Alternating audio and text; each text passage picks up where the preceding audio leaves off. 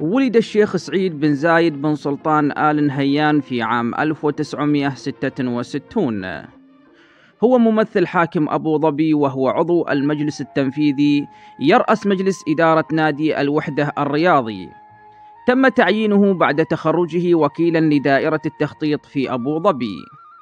شغل منصب رئيس دائرة الموانئ البحرية بين عام 1991 و 1996 وممثل الشيخ زايد بن سلطان آل نهيان رحمه الله في الكثير من الزيارات الرسمية الدولية.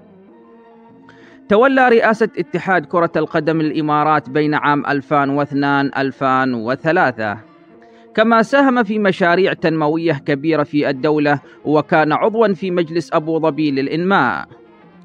ساهم في مشاريع تنموية كبيرة في الدولة وكان عضوا في مجلس أبو ظبي للإنماء.